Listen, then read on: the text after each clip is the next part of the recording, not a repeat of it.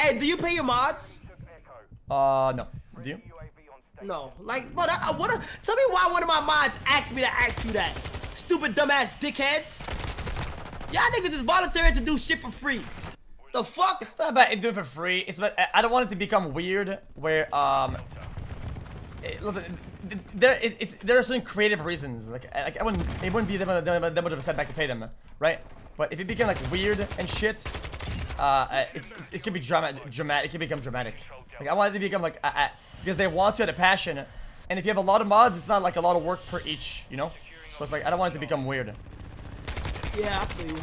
Like what what if they don't like the, the channel anymore? They don't like modding. They don't like me anymore.